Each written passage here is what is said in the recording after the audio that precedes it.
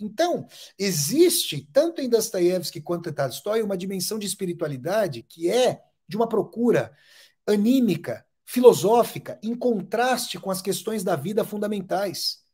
Essa é a espiritualidade que eu chamaria de espiritualidade maior, que muitas vezes, tanto para Dostoiévski quanto para Tolstói, independem eu diria que mais para Tolstói do que para Dostoiévski, Dostoiévski foi ecumênico em explorar o cristianismo e existe, por exemplo, no meu livro, na minha tese de doutorado, Dostoiévski e a dialética, fetichismo da forma, utopia como conteúdo.